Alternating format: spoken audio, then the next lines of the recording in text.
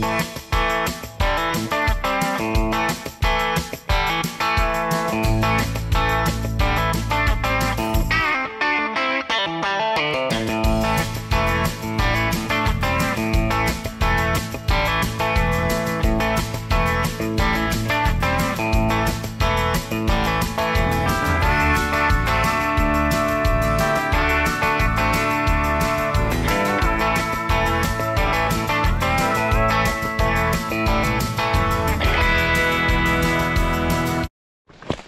everybody, back on the trap line.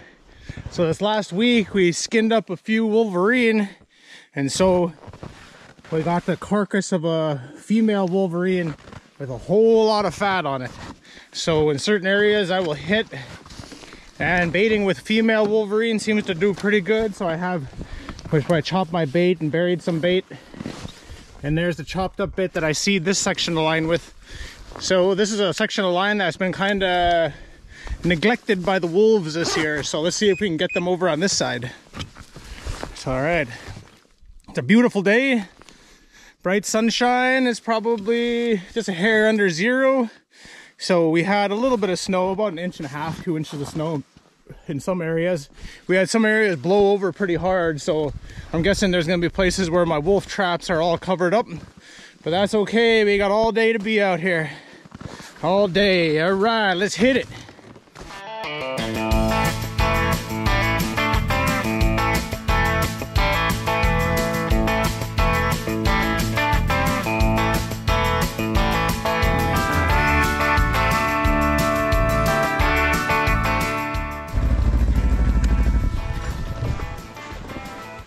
No marten here, not even tracks this time around. A little bit of last week's bait down there. Oh yeah. 110. Get a little more bait in here. I actually found a stash of fish eggs that I must have bagged up and stuck away last year. Right there. That's salmon eggs. So let's get a bit of that. Bust it up over here and get some animals stinking around this area. Checking it out.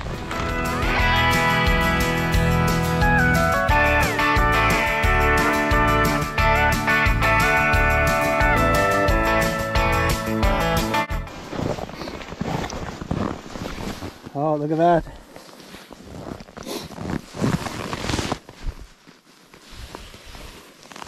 You see that? Something walked right up. He walked right up and checked it out. Oh, it's a lynx cat, eh? Yeah, look at that. A lynx cat came by and checked it out. He didn't care about my, he didn't care, he didn't care enough to walk over and check out my lynx set, but he definitely swung through here and sniffed about. I'm guessing the frozen meat inside this set wasn't exactly what he wanted. So he moved on out of here. Oh yeah, there he goes.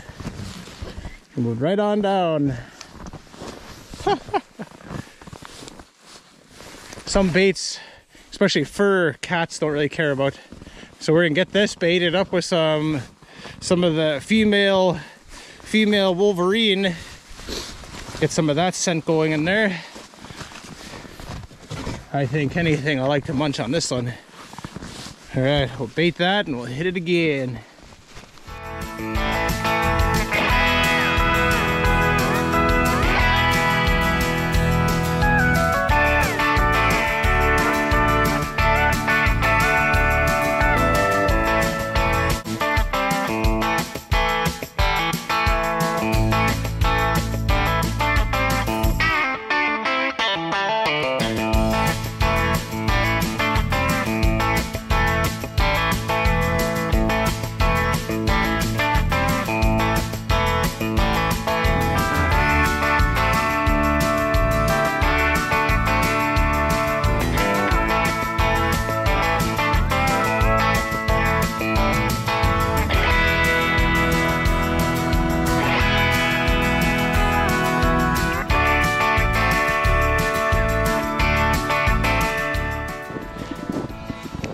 This side has been the busy side the last few weeks. So we yanked the lynx set out of there. The ground set for marten is out of there. We still have our pole set and and the uh, 110 conibear set over there. But look what we got here.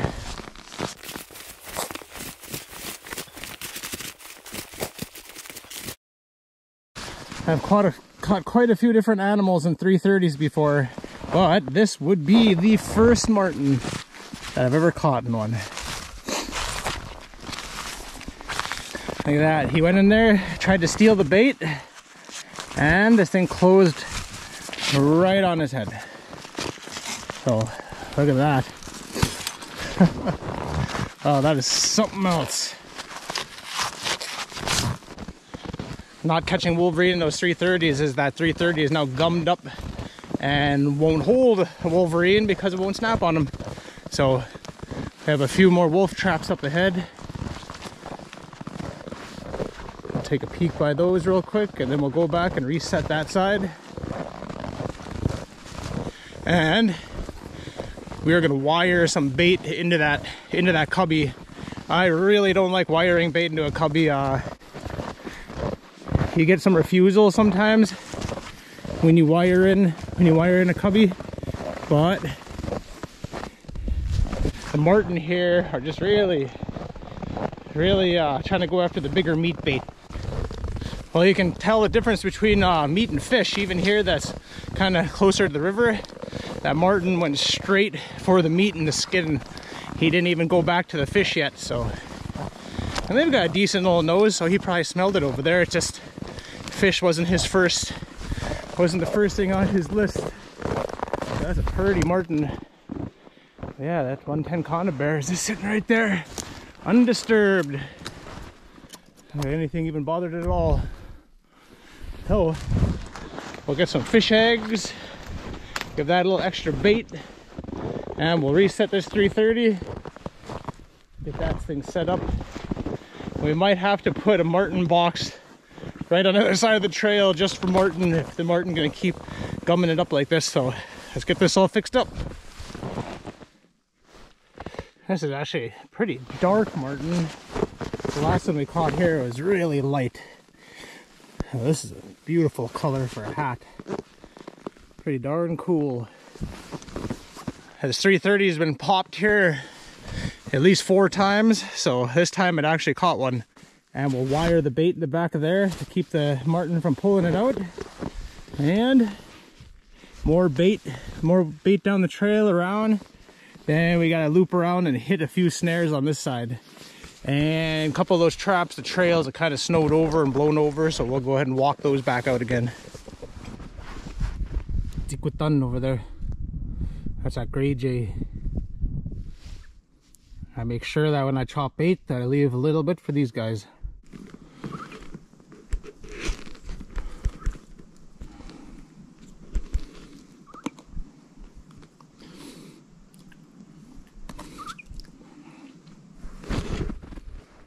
robbers are called. he can go ahead and rob as much bait as he wants. He ain't moving nothing too big. There's a little bit of snow now. A little more knee deep. You can see where that lynx walked by a while back.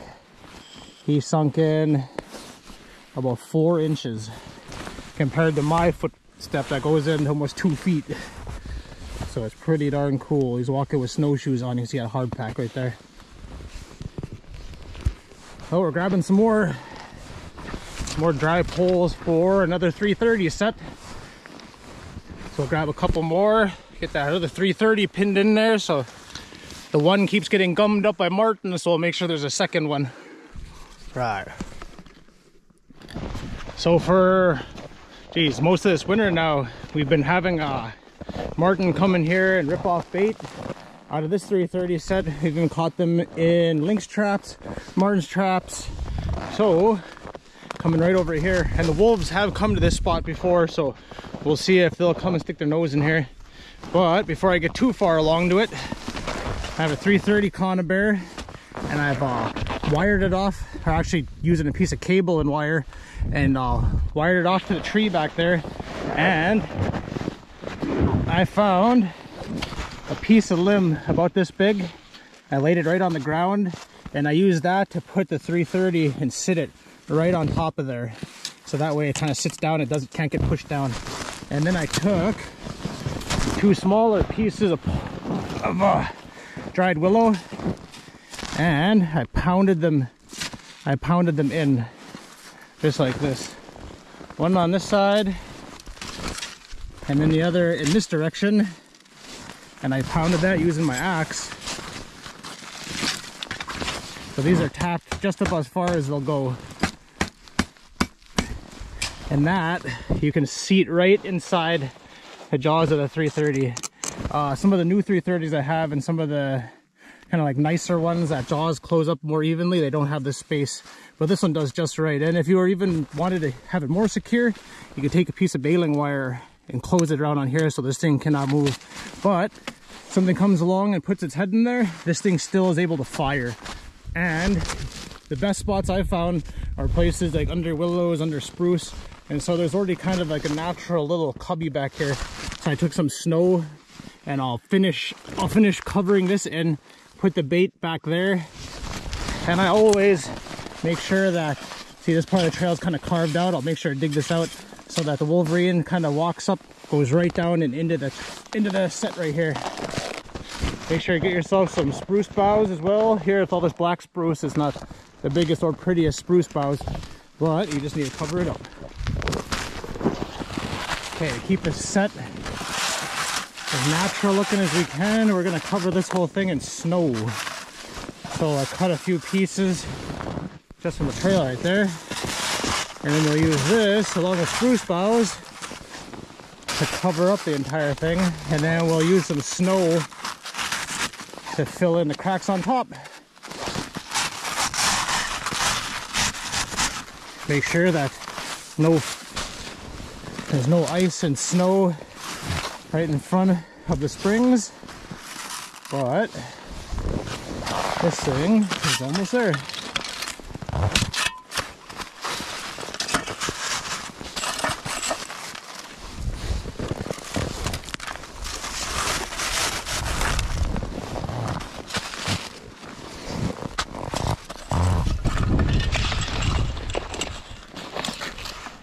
Okay, so now we got it framed in with snow with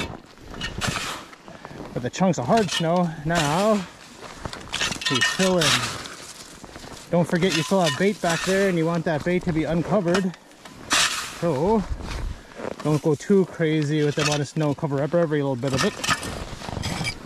So here it is. Try to get as natural looking as possible.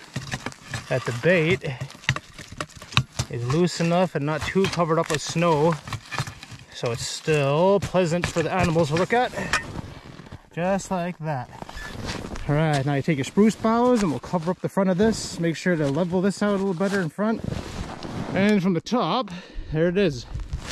Blended in fairly well with this brush. So this is a little close to the road, but that is a spot you could use. And underneath any one of those bunches of willows, and there's a nice hole back there that might be perfect. But this is right next to the trail and easy to check, so get it brushed in. Okay, we got our 330 Conibear Wolverine set finished up. So, this is what it looks like. So, you make sure that there's a hole for the animal to get right up in there. See the meat is just right there within eyesight of it. This thing is got cut down a little bit in front, made it a bit lower, and then all the snow is wrapped around the backside along with the willows. This whole thing is all spruce boughs. So right there is a 330 set.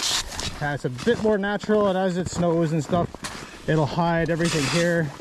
I threw some snow to kind of cover up what's going on but also drive back and forth a couple times pretty natural set that gets very very very low refusal rate just because there's nothing really man-made except for the metal trap but they don't usually have sets like that built most of the time.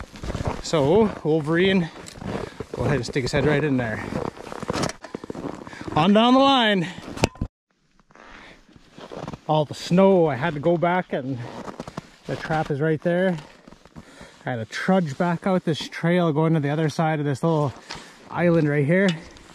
Snare on one side, open on the other, and this time I tied it into the other side. There's a snow machine trail and game trail that runs back that way, so you can see a lynx walk through here some point in time. But trudged it out. I'll reopen this up. Uh, I'll be tossing bait over there and I'll drive around the other side and putting bait in a hole on the other. So, bit of snow makes a little more work. I'll be worth it in the end. Alright, so that's the tie-in from the other side of the island. We'll make sure to bury some bait. Hey, one back there. Hopefully that's enough. And some for the birds. That throughway set is in. Good to go. There's a fox stand up here on the right.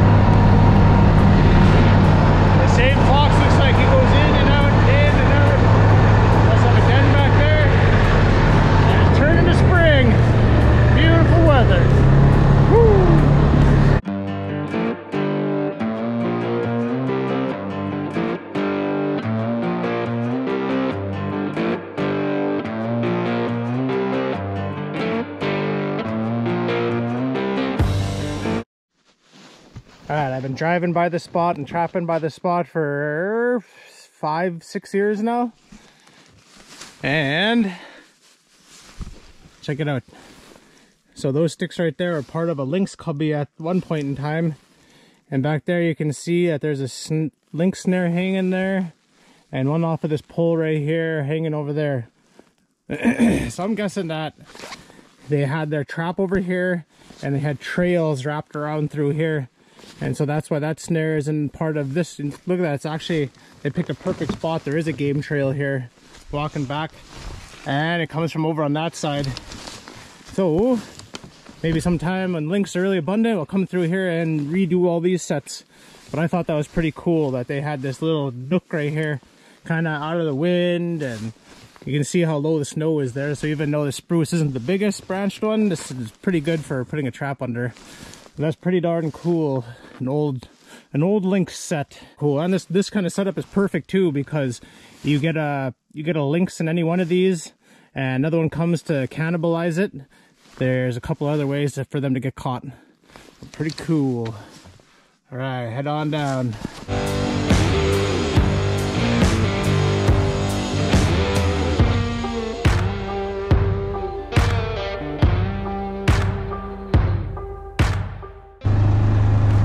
Lot of fox came through.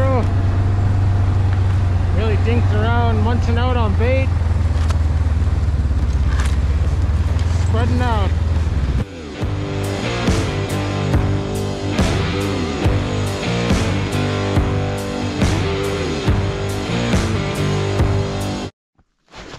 Alright, caught a wolf around the corner last week and I was sure hoping that a few more would have rolled over on this side. It out.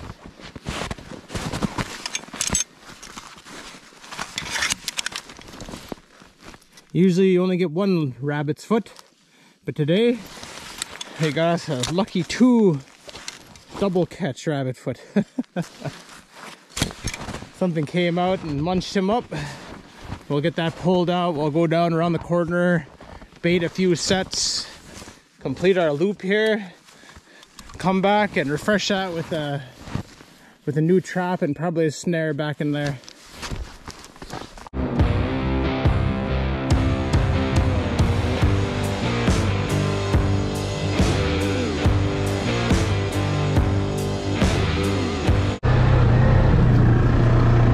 Woohoo! Look at that! Thank you, Lord!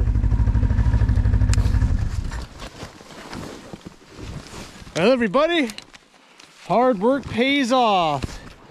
And oh man, there was a, I almost thought it was a coyote around the corner. His tracks were so small. But what it was, was a tiny, tiny wolverine. Look at that. And this right here, this was the uh, the otter set. Uh, so that thing was this hugging right to the top of that pole and right across the trail. And I'm actually gonna take a peek around the corner to see if that wolf trap has anything in it. Can I see? Yeah, this looks like what those coyotes are messing around on. Pretty darn cool. Pretty darn cool. So these must have been coyote tracks because you can still see them going back and forth over there. So, wow. Very cool. Number four of the year. So the third one is actually at home and thawing out. And we got us a small little, I'm guessing a female. Look at that, it came straight through and right in there. So the creek is a little ways over that way, about 60 yards over there and goes by. So we'll get this Wolverine bagged up or we'll take it out of the trap and stuff. That's if it's not too frozen. We'll get this one, this uh, 330 re-put in there. So that way it'll be there for next time. And actually, what in the world? The snare is docked down over there. Huh. Look at that, huh? Something knocked the snare down. That was hanging right there. So let's get this replaced, rebaited. And it looks like there's definitely animals just chilling here. So we'll get some more scooped up. So we got the otter set re rebuilt up we bent that we bent the triggers it's a little different to try and make sure it gets caught before getting too far into it well that's the reason that this one got so far into it is this is the tiniest little wolverine I've ever caught not very frozen so probably got caught not even within the probably the last day I'd say that's re put together make sure that we got a slide going down to the slough over there and more sets around the corner. Another Wolverine down. Pretty good. It's going pretty good this year.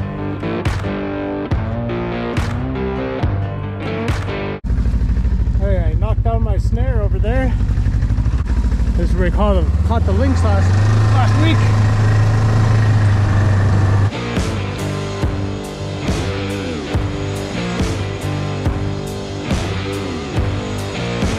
Uh, this is where we have a trail set for a lynx.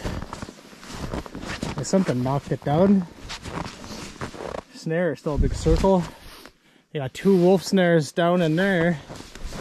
Let's get this moved out of the way. Huh, nothing on this side. Hold set of lynx tracks. And that's okay. A few more lynx tracks walking back and forth over here. So we put in another trail set. All it is is just a spruce. You leave all the branches on and just make sure there's a clear spot right in the middle with a snare in it. And that works pretty good for lynx. Just make sure that the, the pole you're connected to is thick enough to handle it. Cats by pretty quick in a snare, but if a Wolverine or something gets in there, you gotta make sure that that thing is thick enough to, to handle a bit of a beating A bit of beating. You're seeing coyote tracks coming over the, towards this side, but they dipped on and off the trail completely random and stayed away from all the sets. So throw more bait and keep on going.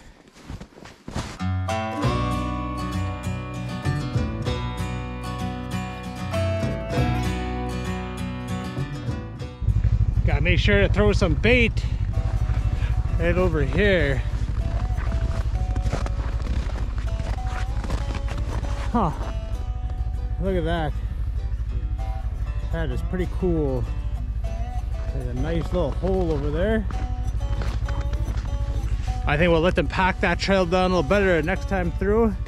We'll stick a conibear right in that hole. Today, I'm wearing a different pair of mitts.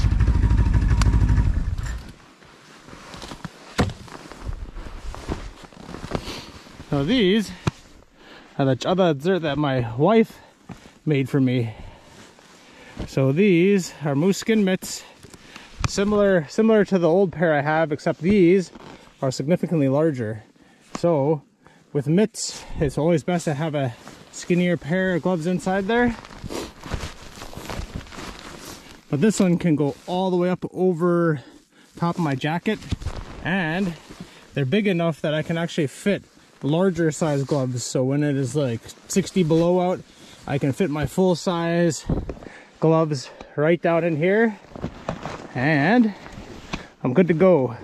So these are much, much more layered up than the other pair. And I think my wife put a different waterproofing layer as well as some, some kind of material inside there. So again, thank you to my wife for the amazing, amazing sewing work. So where they stitch two pieces together, they put another layer and that helps keep it really waterproofed from snow and stuff making it inside there. So this pair is oh, two years old and has a nice thick braided yarn yarn piece that goes around my neck. And yep, keeping my hands warm going down the trail. All right, guys, uh, no luck on this on this animal walking down the trail. So we're spinning back around and hit a different corner and headed back to the village. Uh, one marten and one beat up little wolverine down. So we'll see if wolves hit us on the other side.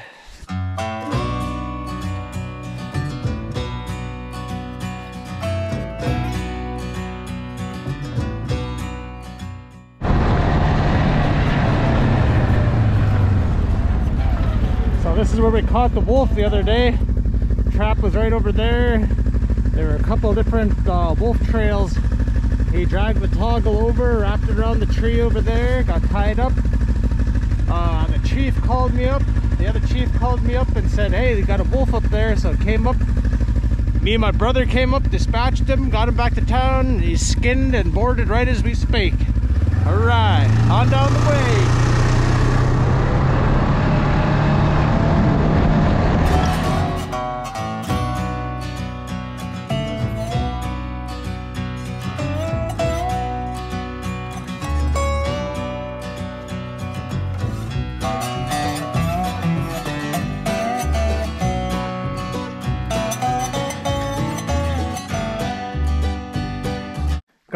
Cubby set there.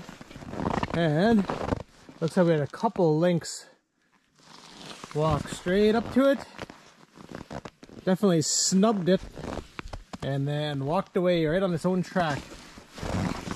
So with lynx, it seems like only the real big boys really walk on the same track.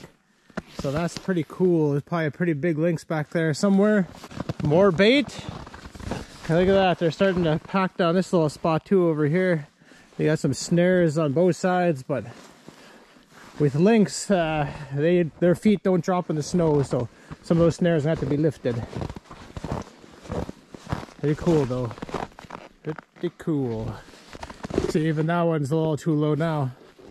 But everything's seeming to like this little stump right there. Let's put something there. Let's give it a whirl.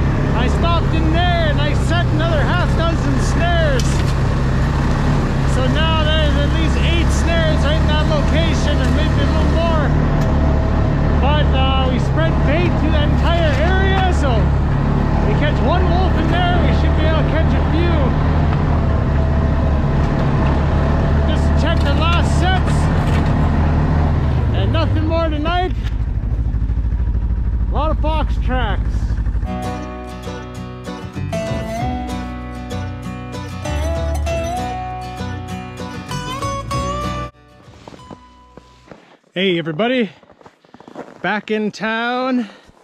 Good day on the line, a lot of lynx tracks, uh, set of coyote tracks, the martin, martin tracks that led to this one, and the only damaged wolverine I think I've ever caught. So I don't think I've ever caught a wolverine like this before. But we'll salvage what we can. Another beautiful day, bright sunshiny day. Uh, dogs are barking. And it's time to say goodnight, guys. God bless, and we'll see you again next time.